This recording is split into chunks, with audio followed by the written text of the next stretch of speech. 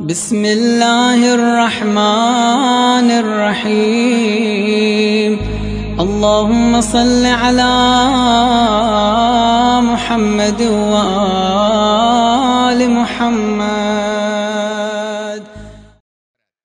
من توصیه می‌کنم خانواده ها اجازه بدن دخترهاشون درس بخوانن.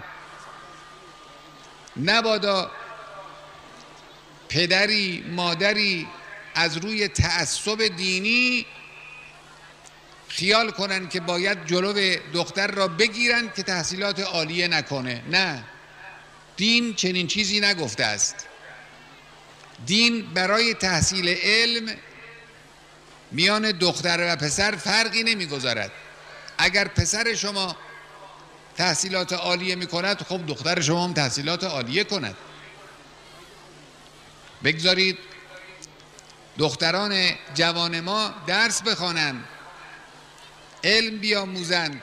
آگاهی پیدا کنند. به شعن خودشون واقف بشوند. قدر خود را بدانند تا بفهمند که تبلیغات استکبار جهانی در زمینه زن چقدر بی اساس و بی پر و پایه و پوچ است.